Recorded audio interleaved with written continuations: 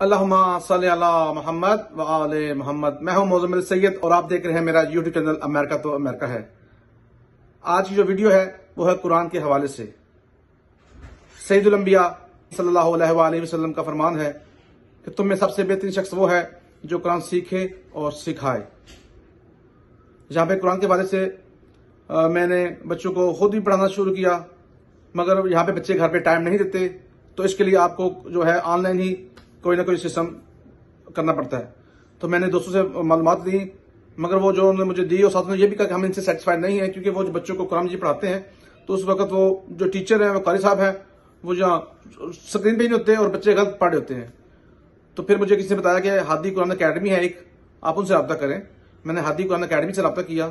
तो इनकी जो टीचर थे ट्यूटर हैं, वो बहुत ही मेहनती हैं, ठीक है, वो बहुत ही मतलब एक सेकंड के लिए भी आपके बच्चे से गाफल नहीं होते।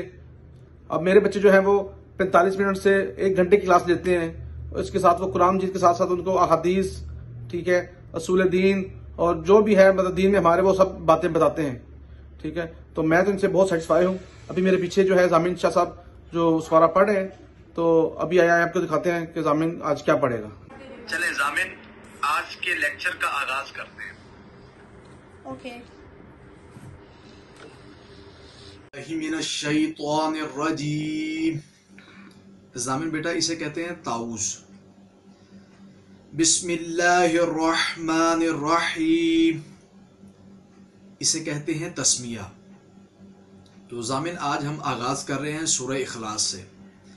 जैसे मैं एक आयत पढ़ूं, आपने मेरे पीछे रिपीट करना है। ठीक है? ओके? चलें। बिस्मिल्लाहिर्रहमानिर्रहीम। कुल हुवल्लाहु अहद पढ़ें बेटा आगे देखें अल्लाहु समद लम यलिद वलम यूलद जी पढ़ें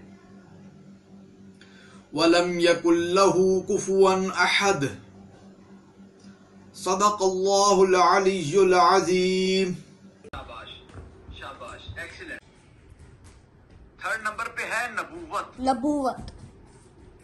फोर्थ नंबर पे है इमामत। इमामत। और फिफ्थ नंबर पे है कयामत। क्यामत। एक बार मैं फिर रिपीट करने जा बेटा जामिन कल हमने आपको बताया था उसूल दीन के बारे में। तो सबसे पहले हमने बताया था कि उसूल दीन का मतलब क्या है।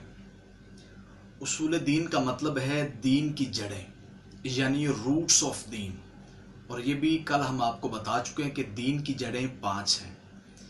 पहले नंबर पे है तोहीद। उसकी वजाहत कल हम कर चुके हैं। आज हम बात करने जा रहे हैं अदल पे।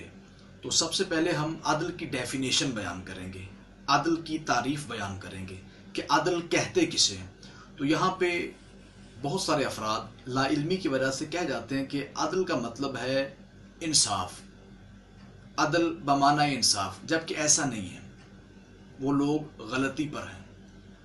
हकीकतन अदल का माना इंसाफ नहीं है। ओलमा और मुहक्कीन जब अदल की तारीफ़ बयान करते हैं तो इन अल्फाज के साथ बयान करते हैं। अदल कहते किसे?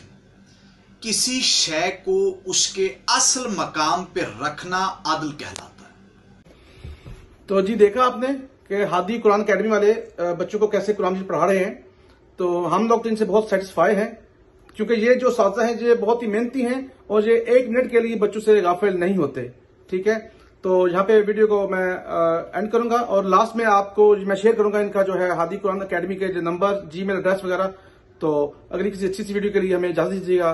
तब तक के लिए अल्लाह हाफिज।